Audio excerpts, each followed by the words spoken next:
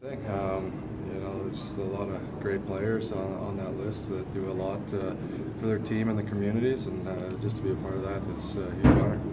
To do this um, within the city you've lived in for a while, how much more is how much more important is it?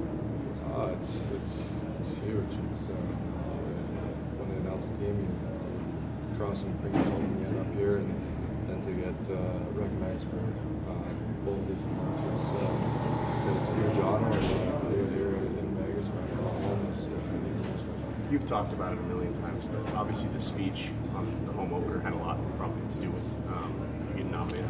Can you just talk about how important that moment was for you and where it ranks in your career?